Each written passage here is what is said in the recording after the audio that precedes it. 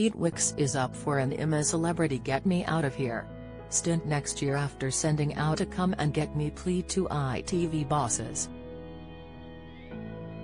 The Towie legend, backing best pal Sam Thompson to triumph in the jungle this series, says Hess up for following in his friend's footsteps in a year's time. Pete has flown out to greet the Made in Chelsea star on the bridge, getting the nod over his girlfriend Zara McDermott after her Strictly Come Dancing exit came too late to change the travel arrangements. He says Sam can go all the way and win it but will we be seeing the 35-year-old in camp before too long? He told the Mirror that he'll be up for it if asked and thinks he could be cut out for it after watching his buddy battle it out with snakes and spiders before he jumped on a plane to see him. Do you know what, I like anything that's a bit of a challenge. I love taking myself out of my comfort zone, he said. What an experience that would be. I'm so blessed to be in the position I am in that I get to do some mad and crazy things. Spending three weeks in the jungle would be another mad and crazy thing I wouldn't otherwise not get a chance to do. So as a life experience, it would be an amazing thing to do. Some of his fans wouldn't mind seeing him flex his muscles in the camp shower and after getting a glimpse of politician Nigel Farage, the reality favourite joked, well, that would be a bit of a downgrade for everyone. After landing in Brisbane, many wondered why it is Pete out there supporting Sam and not his girlfriend Zara.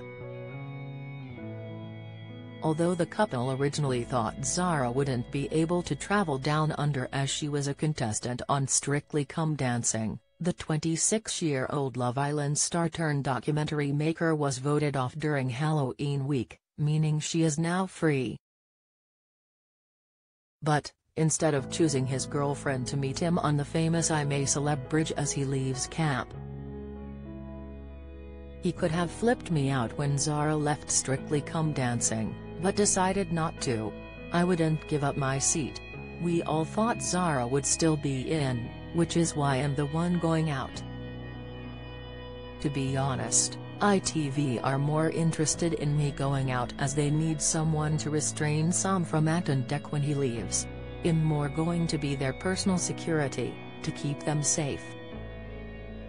Hess doing amazingly well, we're seeing Sam for Sam and I'm really pleased about that has a bundle of energy and I think that can be a little annoying for people before they get to know him.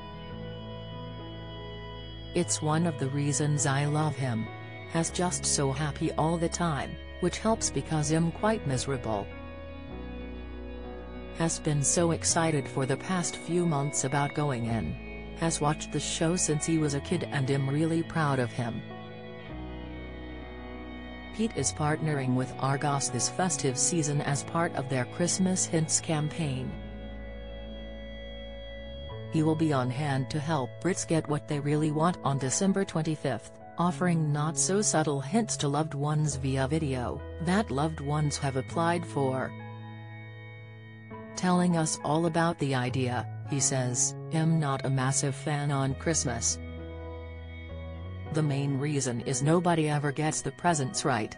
Most people get presents they don't want, I read a stat saying 73% of people get an unfortunate gift, dead plans, out-of-date chocolate, stuff like that.